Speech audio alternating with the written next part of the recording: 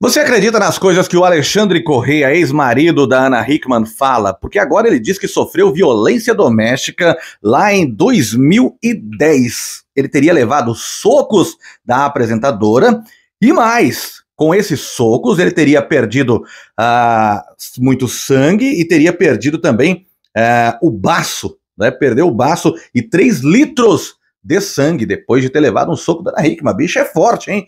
Olha, Fato é que ele deu uma entrevista. Eu duvido você adivinhar para qual jornalista ele deu essa entrevista. Se você chutou o Ricardo Feltrin, obviamente você está certo, que é o único jornalista que dá uma moral danada pro Alexandre Correia, né? Então, de novo, é né, claro, é, toda notícia que eu vejo falando assim, ah, Ana Hickman fez tal coisa errada. Ah, Alexandre Correia tá certo nisso. Ah, mentira da Ana Hickman. Verdade do Alexandre Correia.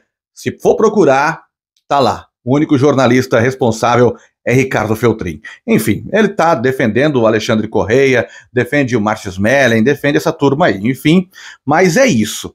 Alexandre Correia diz que sofreu violência doméstica, que inclusive perdoou né, a apresentadora, tanto é que eles ficaram juntos até o ano passado, quando houve a separação, quando ele teria a agredido. E ele nunca contou isso, mas agora, né, resolveu contar para o Ricardo Feltrin.